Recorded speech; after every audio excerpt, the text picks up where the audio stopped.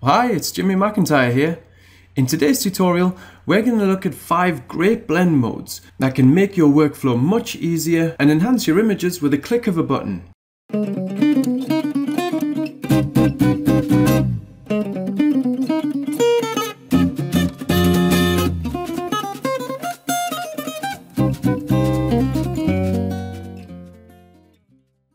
The very first blend mode we'll use is Lighten. Now this is great because it compares two layers pixel by pixel and it only keeps the brightest pixel between those two layers.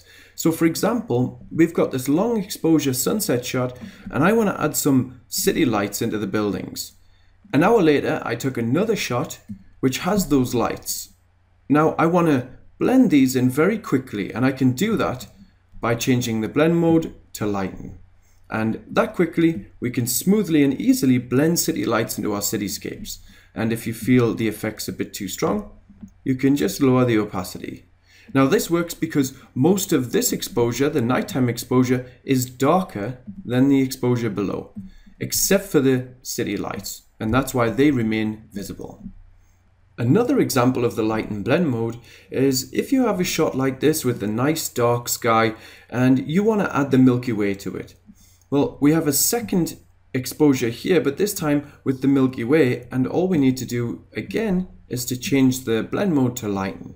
However, this time we just have to create a mask and paint out much of that foreground so we don't have any of the Milky Way going across our buildings or anything like that. Make a smaller brush and just paint along the edges there.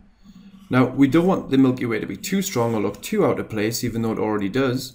So we can reduce the opacity to around 50%. And there's the before and after, and that looks much more natural. A final example of the lighten blend mode is when you have cityscapes like this and you have some beautiful car trails. You can add to these car trails if you take multiple exposures and you can layer them on top of each other.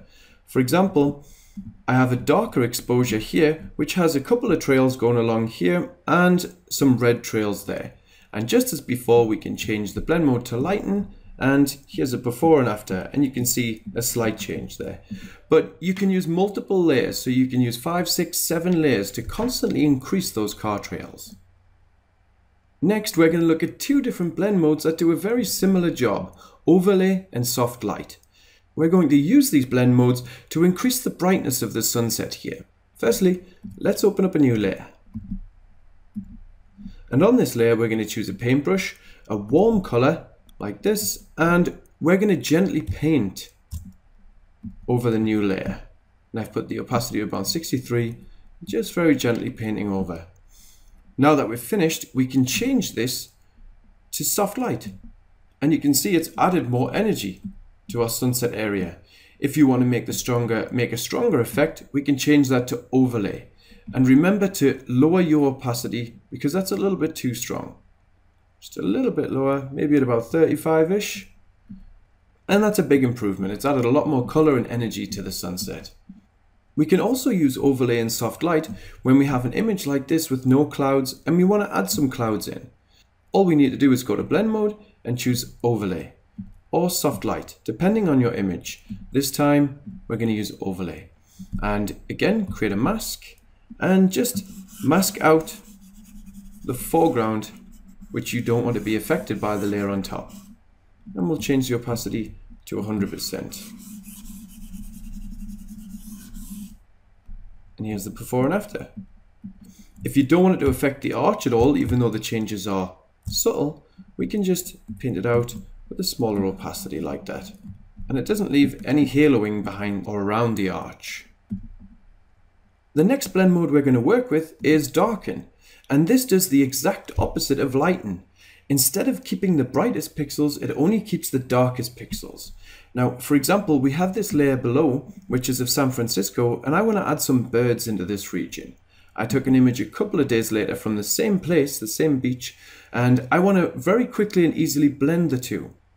Now, to do that, firstly, we're going to go to our blend mode and then darken.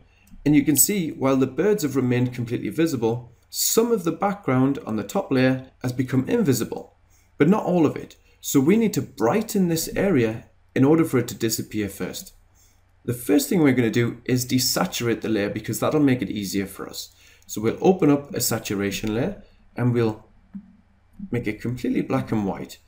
To make sure it only affects this layer, we're going to right click on it and choose create clipping mask. Now I'm going to do the exact same thing with the levels adjustments layer. So it only affects the top layer. I'm going to bring the highlights all the way down and by default the midtones will go down as well. And I'm going to bring up some of the shadows. And that's perfect. And finally, I'm going to go to edit, free transform, lock the aspect ratio, and just make them a little bit smaller. Put them up here roughly. And press OK. And that's it. Oh, and as you can see, the corner here hasn't been brightened enough, so we need to go back to our levels adjustment layer and just slide along a little bit more like that until it disappears. Next, we're going to look at the blend mode difference. Now, sometimes when you're working with multiple exposures in Photoshop, the auto align function doesn't work, so you have to manually align the layers. Now, you can do this by going to your blend mode of the top layer and choosing difference. And you'll see there's some edging here, which tells us that our images aren't aligned. To align them, just go to your Move tool in the top left hand corner, click once on your top layer, and use the arrow keys to move left, right, up or down to align the layers. Just like that. And now we just go back to normal and we can begin blending the exposures. And finally, we're going to be looking at the blend mode luminosity. Now sometimes when we're adjusting the contrast in our images, we'll find that by default our colors will also become oversaturated. We might like the contrast adjustments in terms of luminosity, but we don't like the colors that come with it. But that's fine because we can change the blend mode of the contrast layer to luminosity.